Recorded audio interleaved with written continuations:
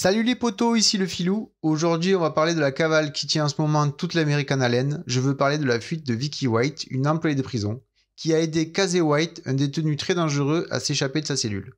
Alors d'un côté, on a une petite fonctionnaire pénitentiaire modèle de 56 ans, et de l'autre, un colosse multirécidiviste de 2m06 au crâne rasé, âgé de 36 ans, soit 18 ans de moins que la gardienne. Ils ont le même nom, mais ne sont pas de la même famille. Est-ce que le détenu a utilisé ce point-là pour séduire la gardienne? On peut se poser la question.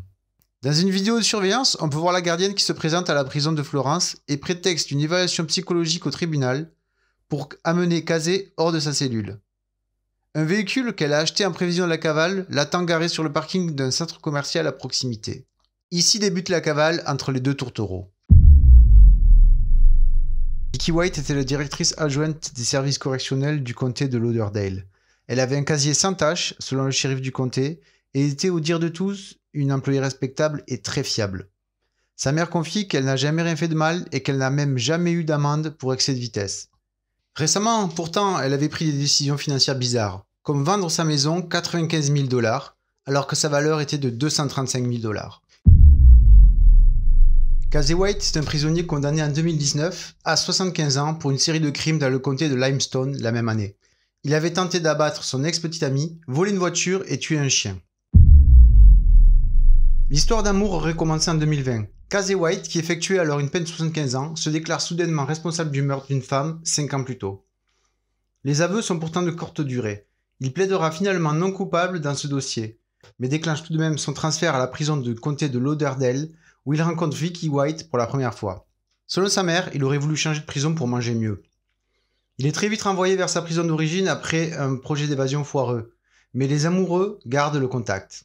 Le couple avait une relation spéciale qui a été confirmée en partie par d'autres détenus, qui ont révélé aux autorités que Casey White obtenait de la nourriture supplémentaire sur ses plateaux et avait des privilèges que personne d'autre n'avait. Aujourd'hui, les autorités sont sans nouvelles des deux fuyards. Pour aider la population à les identifier, la police a diffusé de nombreux portraits robots et leurs tailles respectives qui, forcément, peuvent attirer l'œil.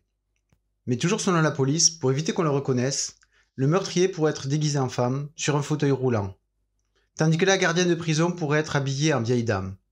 De plus, Vicky White a mis beaucoup d'argent de côté, notamment grâce à la vente de sa maison, et les deux fuyards peuvent alors vivre un moment reclus sans avoir besoin de travailler ni de voler. La mère de Vicky pense que sa fille a subi un lavage de cerveau pour aider le meurtrier à s'échapper. Les proches de Vicky sont très inquiets, surtout lorsqu'on apprend que Casey White a menacé de tuer son ex-petite amie et sa sœur. À ce titre, les autorités ont informé ses cibles potentielles de son évasion et les ont mis sous protection policière. Alors, selon vous, Vicky et Kazé ont-ils une véritable histoire d'amour ou Kazé se sert-il d'elle pour échapper à la prison? Va-t-on retrouver Vicky vivante, surtout lorsque l'on connaît le passé du prisonnier? L'avenir nous le dira, et je n'hésiterai pas à vous tenir informé sur l'évolution de cette affaire sur ma chaîne YouTube. Pour cela, abonnez-vous, et si vous avez aimé la vidéo, cliquez sur le petit pouce en l'air.